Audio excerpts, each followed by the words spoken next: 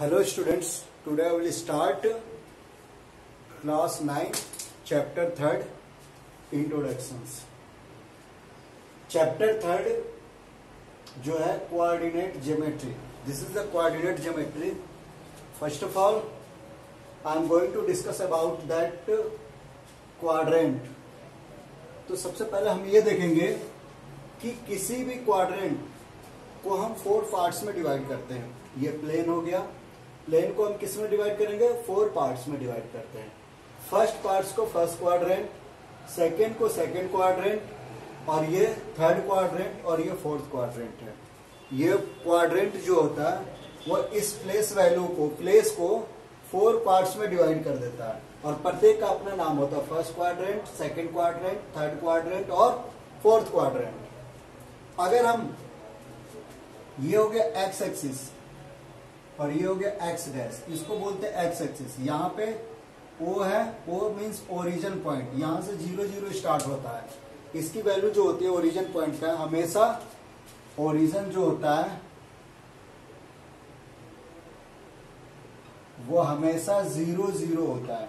यानी यहीं से स्टार्ट करता है कि हम इस तरफ़ जाएँगे, किस तरफ़ जाना है, किस तरफ़ जाना है, किस तरफ़ जाना है, इस तरफ़ जाना है। यानी पॉइंट यहाँ से स्टार्ट होता है, यहीं से मेज़रमेंट स्टार्ट होती है ज़ीरो ज़ीरो ठीक है?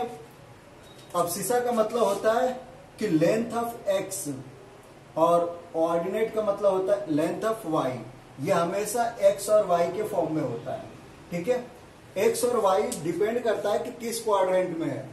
तो अगर हम यहाँ पे, अगर हमें टू थ्री पॉइंट डिनोट करना है तो टू पॉइंट क्या होगा? टू पहला क्या है? एक्स की वैल्यू है। और थ्री क्या है? वो है वाई की वैल्यू है। और दोनों क्या है? प्लस में है। तो फ़र्स्ट क्वाड्रेंट में होगा। क्यों?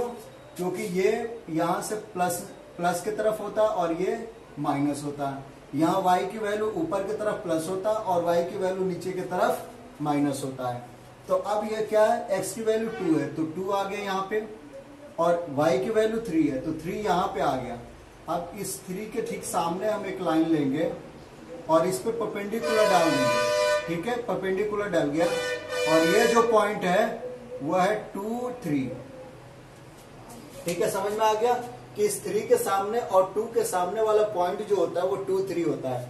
अगर इसके जगह पर वन और थ्री होता तो तब हम एक्स की वैल्यू क्या ले लेंगे? वन और थ्री यही होगा तो पॉइंट क्या बन जाएगा? ये। अगर हमें ज़ीरो और थ्री रखना हो तो तो x की वैल्यू ज़ीरो x की वैल्यू क्या हो गया? ज़ीरो यहाँ आ जाएगा। ये पॉइंट आ गया, ये क्या हो गया?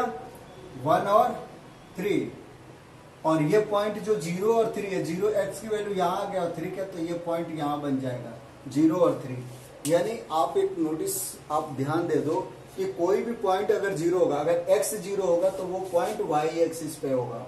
ठीक है? अगर y ज़ीरो हो जाएगा तो वो पॉइंट किस पे होगा? x एक्सिस पे होगा। तो समझ में आ गया ना कि जैसे जैसे x की वैल्यू कम करते जाए वैसे वैसे ये लाइनिंग के किधर की तरफ़ जा रहा है? इधर की तरफ़ जा रहा है।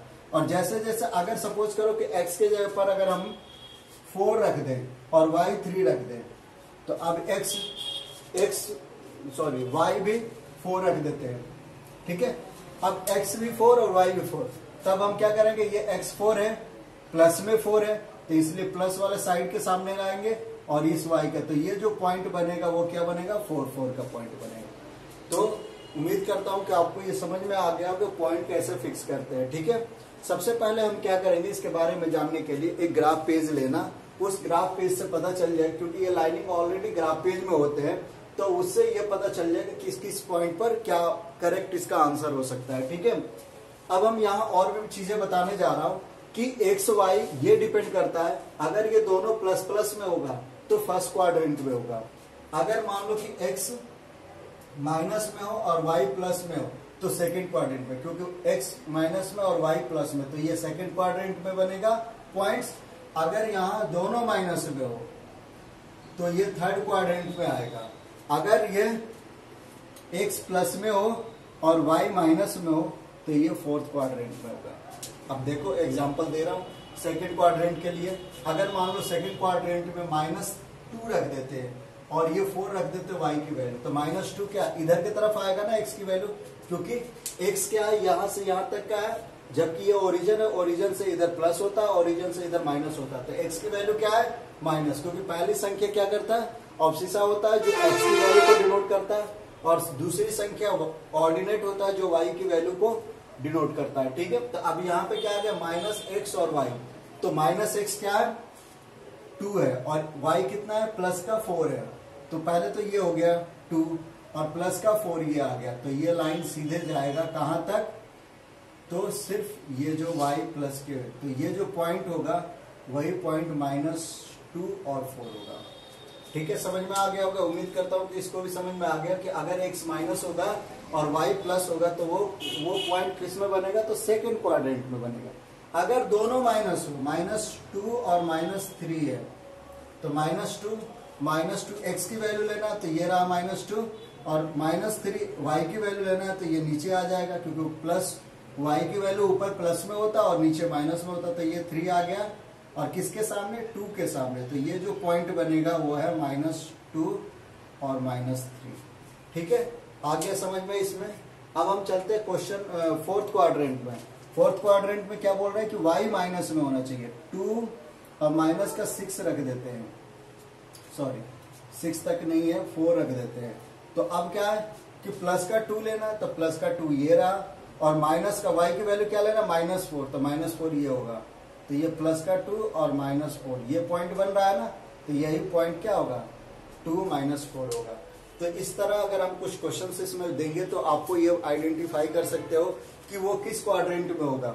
अगर दोनों प्लस में होगा, दोनों पॉइंट्स अगर प्लस में होगा तो फ़र्स्ट क्वाड्रेंट में होगा। अगर पहला x माइनस में होगा और y प्लस में होगा तो सेकंड क्वाड्रेंट में होगा।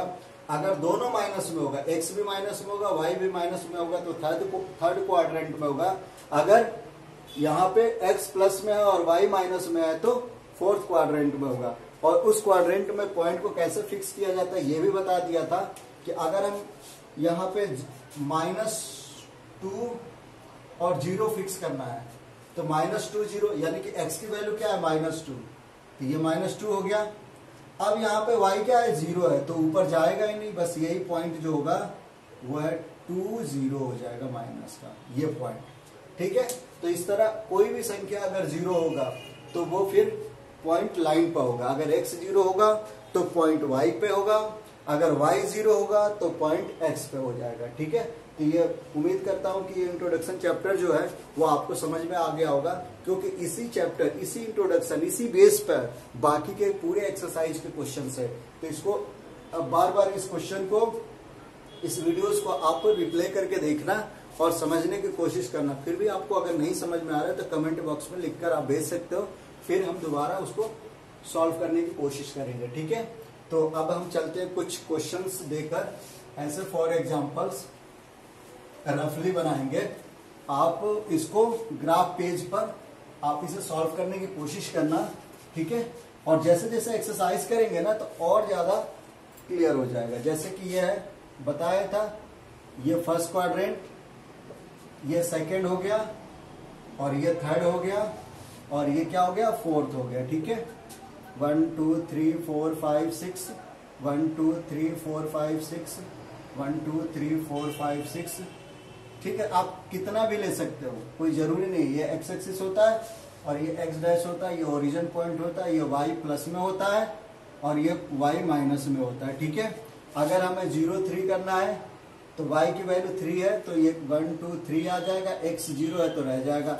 अगर हमें वन थ्री करना है तो ये क्या होगा थ्री तो यही रहेगा, लेकिन ये किसके, खिसक जाएगा वन पे। अगर टू थ्री होगा तो यहाँ खिसकेगा फोर्थ थ्री थ्री होगा तो यहाँ खिसक जाएगा, ठीक है? ऐसे ही अगर माइनस में कोई संख्या हो तो क्या करेंगे? माइनस एक्स है ना तो माइनस एक्स या माइनस फाइव ले ले। तो one two three four five minus का फाइव और प्लस का वाई थ्री है ना वन टू थ्री तो ये आएगा किसके? तो one two three four five इसके सामने। तो ये जो पॉइंट होगा, वही होगा माइनस फाइव अपॉन थ्री ठीक है?